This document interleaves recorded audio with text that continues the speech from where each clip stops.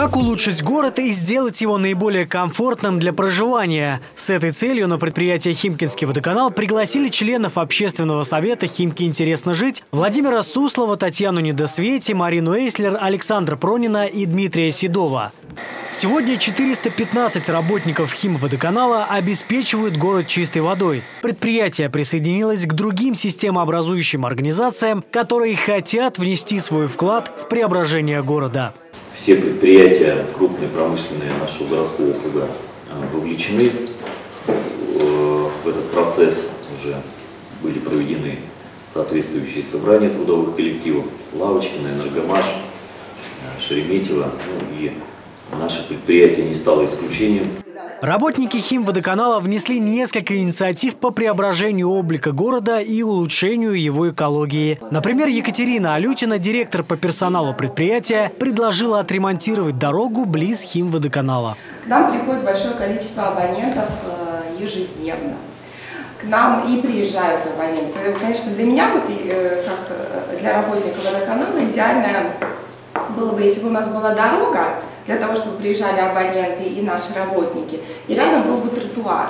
А вот начальник лаборатории предприятия Валерия Каминская посетовала на недостаточное озеленение отдельных районов города. Вот здесь вот напротив стадиона, там осталась одна елка и два дерева. Ну, вот стадион вот новый, открытый. Смотрите, там, там пустое поле сейчас. В свою очередь, представители общественного совета проекта «Химки интересно жить» рассказали о проектах и инициативах, которые в процессе воплощения в жизнь. Это и создание речного трамвайчика, который соединит правый и левый берега Химок, и проект «Виртуальный музей» по увековечиванию памяти участников Великой Отечественной войны. Один из его кураторов, Мария Эйслер, регулярно посещает ветеранов и ведет летопись их подвига. Вот вчера была личная встреча, я проводила с ветераном. Женщина Тамара Андреевна, ей 94 года. А, был фонд Кончаловского. Мы вместе с фондом Кончаловского вчера проводили.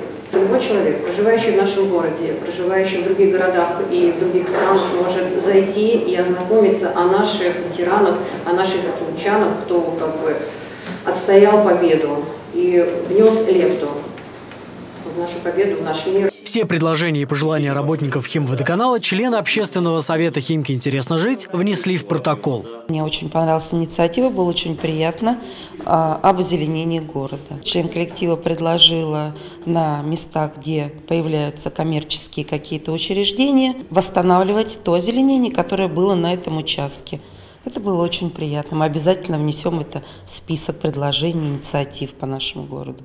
В ближайшее время все инициативы разместят на портале, где будет создан специальный раздел для голосования. Собрано около тысячи инициатив, которые будут э, сформулированы. Значит, некоторые из них повторяются, некоторые требуют уточнения.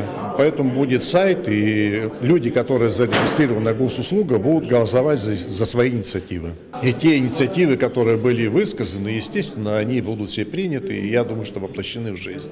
Инициаторами движения по сбору инициатив выступили химчане из первичных отделений партии «Единая Россия» и активисты проекта «Химки интересно жить». Будет сформирован общий перечень инициатив горожан.